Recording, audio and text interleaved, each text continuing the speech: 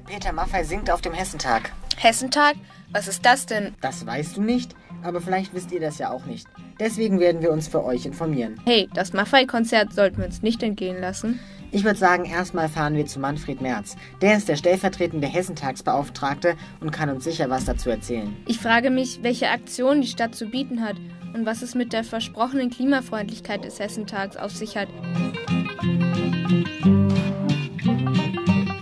Hessentag gibt es seit 53 Jahren. Den hat die Landesregierung in der Nachkriegszeit einmal äh, gegründet, ins Leben gerufen, um das Zusammenwachsen der Bevölkerung voranzubringen.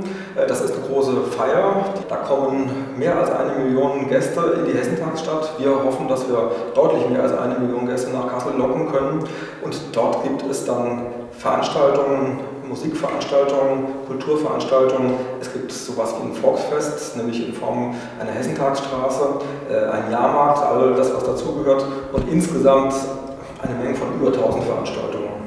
Der Hessentag ist CO2-neutral, klimaneutral, das wird im engeren Sinne als klimaneutral ausgelegt, ähm, weil wir äh, eine Partnerschaft ähm, haben mit den städtischen Werken Kassel und die städtischen Werke haben sich bereit erklärt, dafür entsprechende Klimazertifikate zu erwerben. Das heißt, das sind äh, Maßnahmen, die in äh, zwei Ländern dieser Welt und hier im Habichtswald äh, umgesetzt werden und klimatisch positiv sich auswirken.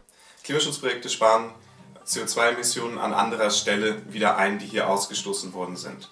Man kann sich das so vorstellen, stellen wir uns Indien vor. In Indien wächst der Energiebedarf und um den zu decken, würde ein neuer äh, würde ein Kohlekraftwerk gebaut werden. Kohlekraftwerke sind sehr CO2-intensiv, allerdings die günstigste Technologie, die momentan dort zur Verfügung steht. Ein Windpark äh, würde auch den Energiebedarf decken, ist allerdings deutlich teurer. Ähm, diese Mehrkosten, das ist dann der sogenannte zusätzliche Finanzierungsbedarf und der wird ähm, dadurch gedeckt, dass Firmen hier Klimaschutzzertifikate kaufen. Das heißt, ähm, diese, das heißt, Firmen finanzieren diesen Windpark, dass der realisiert werden kann und dadurch wird ein Kohlekraftwerk nicht gebaut. Wenn man von Klimaschutz spricht, dann sollte man die ähm, Ziele so festlegen, dass zuoberst das Vermeiden steht, danach Vermindern kommt und danach erst die Klimaneutralstellung, das Neutralisieren oder Ausgleichen. Alles, was hier an mehr Energie und äh, verbraucht wird und an CO2 produziert wird, wird ausgeglichen durch diese Maßnahmen, die von städtischen Werken finanziert werden.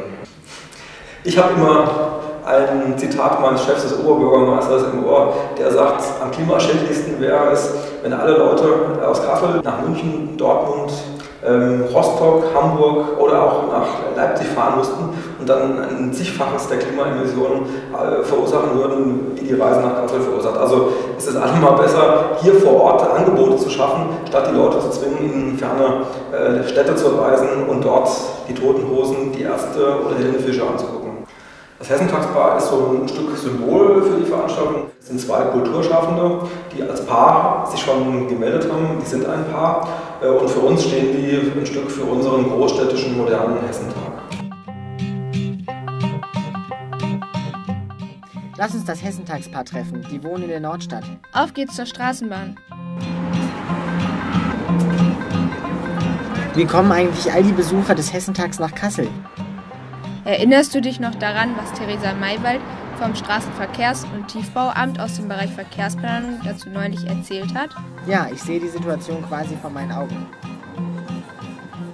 Ja, es gibt für den gesamten Hessentagsbereich, also er streckt sich wirklich über dieses ganze erweiterte mhm. Innenstadtgebiet bis runter zu den Messehallen, wird es Anreisemöglichkeiten geben für Besucher mit dem Auto, die wirklich von weiter weg kommen. Es wird ein umfangreiches ÖPNV-Angebot geben, also Bus- und Straßenbahnen und Regiotrams werden, die fahren öfter mit mehr Fahrzeugen. Die Bahnverbindungen, auch vor allem aus Südhessen, werden ausgeweitet. Und was uns auch ganz wichtig war, war ein gutes Radverkehrskonzept mhm. anzubieten, weil wir davon ausgehen, dass viele Leute gerade aus der Region keine Lust haben, mit dem Auto oder mit dem Bus, mit einem vielleicht überfüllten Bus dann hier hinzufahren, wo sie innerhalb von 10 Kilometern einen schönen Ausflug mit dem Fahrrad machen könnten. Jetzt aber fix zum Hessentagspaar. Die wollen wir ja nicht warten lassen.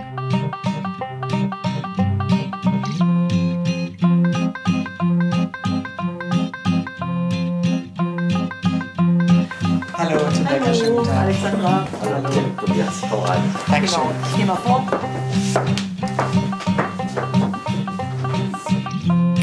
So, wir sind bei äh, ja, dem wohl berühmtesten Paar dieses Jahres hier in Kassel, dem Hessentagspaar für den Hessentag 2013. Alexandra Berger und Tobias Krechel. Wir waren, als wir uns beworben haben, einfach sehr neugierig, was das alles sein würde. Wir kannten, wussten auch noch nicht so viel über den Hessentag.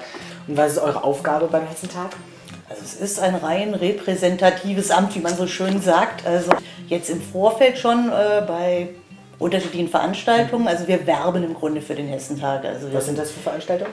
Das ist, das geht querbeet. Also das sind Neujahrsempfänge, das sind, ähm, das sind sportliche Ereignisse wie bei der MT Melsung. Ja, wir waren beim Karneval und ähm, bei der 1100-Jahr-Feier. Wie gesagt, viele Neujahrsempfänge und vor allen Dingen ging es los in Wetzlar.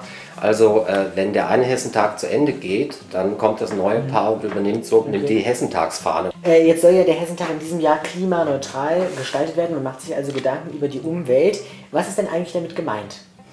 Was damit gemeint ist, ist die CO2-Emissionen zu, naja, zu vermeiden, wissen wir alles, geht nicht, aber zu verringern ähm, und zu kompensieren, wo sie nicht vermeidbar ist. Und da bin ich schon durchaus von dem, was da läuft, ähm, überzeugt gerade. Jeder Besucher kann ohne eigenen Pkw hier anreisen und kommt auch wieder weg, da äh, auch die Fahrpläne nach hinten ausgeweitet wurden. Und weiter geht es halt bei nicht vermeidbaren Emissionen, die es einfach immer gibt, äh, dass die ja verschiedene Projekte haben. Die KVG hat zwei Projekte, eins in Brasilien, eins in China, die, also das einfach ausgeglichen wird.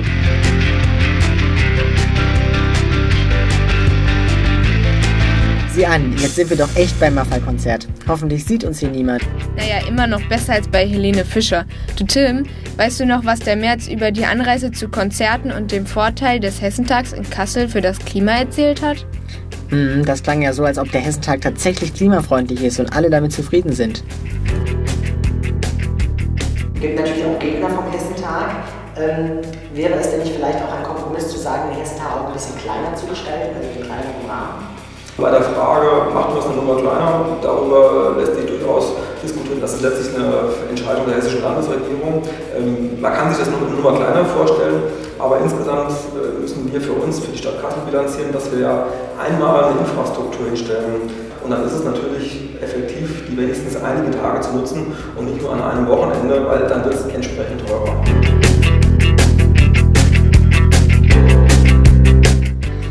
Ich glaube nicht, dass die alle aus der Region kommen. Da sind bestimmt auch Leute aus dem Süden Hessens oder von noch weiter weg. All die Konzerte und Veranstaltungen verschlingen doch Unmengen an Energie und Ressourcen. Dadurch werden ziemlich viele Treibhausgase ausgestoßen. Also Klimaschutz und CO2-Vermeidung habe ich mir anders vorgestellt, aber wenn es Spaß macht. Die zahlreichen Konzerte, Veranstaltungen und Besucher des Hessentags verbrauchen Unmengen an Energie und führen somit zu einem starken Anstieg der CO2-Emissionen. Insgesamt wird beim Kasseler Hessentag mit einem CO2-Ausstoß von ca. 20.000 Tonnen gerechnet. Um diese hohen Umwelt- und Klimabelastungen einzudämmen, könnte man einfach einen kleineren Hessentag veranstalten. Denn weniger Veranstaltungen und Konzerte benötigen weniger Energie und führen somit auch zu einem kleineren CO2-Ausstoß. Lieber einen kleineren und dafür qualitativ hochwertigen Hessentag als einen großen mit seinen unzähligen Veranstaltungen und den hohen Umwelt- und Klimabelastungen. Der, Der Umwelt zuliebe.